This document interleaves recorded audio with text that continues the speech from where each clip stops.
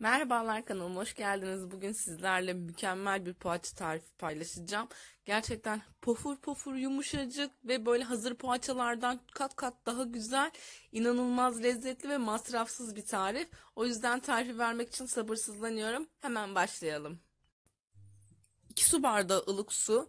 Suyunuz mutlaka ılık olsun ki güzel mayalansın. Çok hafif böyle 20 saniye kadar ocakta ısıtabilirsiniz.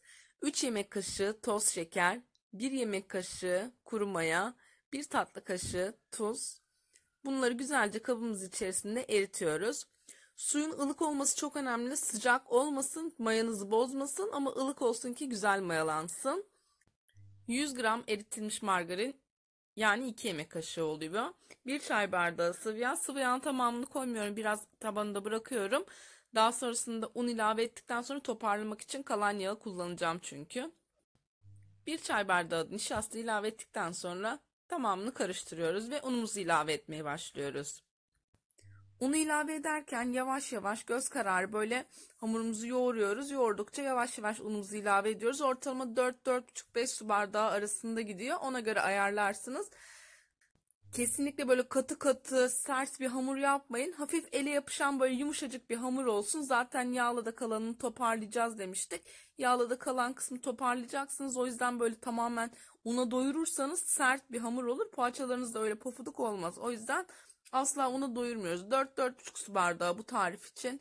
En fazla 5 su bardağı yeterli geliyor. Yavaş yavaş ilave edin. Ayarlarsınız onu. Kulak memesi kıvamında olacak. Hamurumuzun bir diğer püf noktası da iyice yoğrulmuş olması. Mutlaka üzerini örtüp mayalanmaya bırakmadan önce ben videolarda kesiyorum o yüzden tamamını göremiyorsunuz.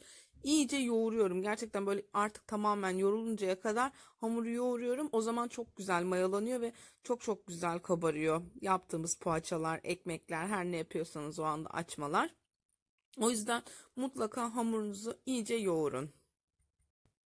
Normalde 1 saat mayalanma süresi var. En az 1 saat böyle ortalama mayalamanız gerekiyor.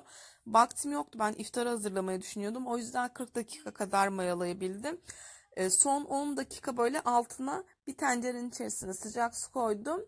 E, kabımın altına koydum o tencereyi de. Bir 10 dakika kadar o şekilde bekledi.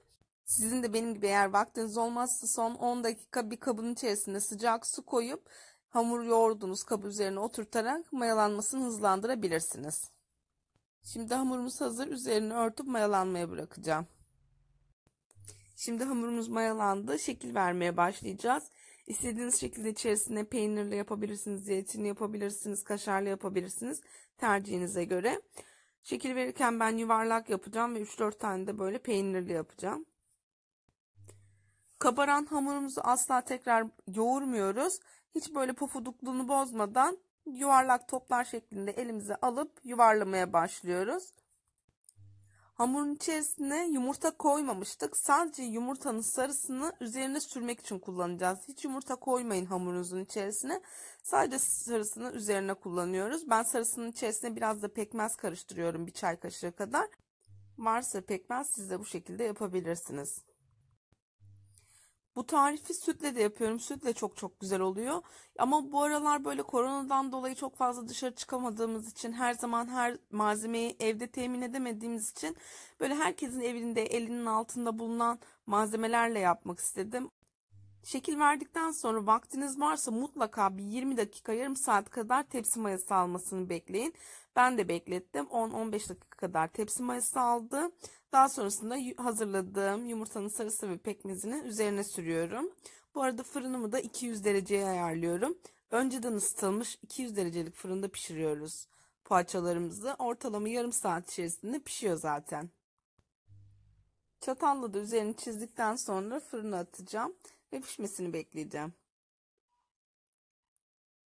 Evet hanımlar şimdi poğaçalarımız hazır. Gerçekten çok çok güzel görünüyor. Ve yumuşacıklar tarifi denediğinizde asla pişman olmayacaksınız. Sütle de yapabilirsiniz.